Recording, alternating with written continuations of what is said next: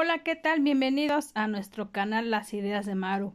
Les platico que aquí en la Ciudad de México existe este vivero grandísimo de plantas que está en Xochimilco, al sur de la Ciudad de México. Podrás encontrar este mercado muy famoso que es el mercado de plantas. Puedes encontrar una gran variedad de plantas a muy buenos precios, súper económicos donde puedes encontrar plantas de sombra, plantas de sol, plantas frutales para decoración, para lo que tú quieras, las rosas, puedes encontrar macetas, puedes encontrar tierra, eh, artículos para poder decorar tus plantitas o ya hechas. Vean toda una gran variedad de plantas súper económicos, súper baratas en el mercado de las plantas en Xochimilco.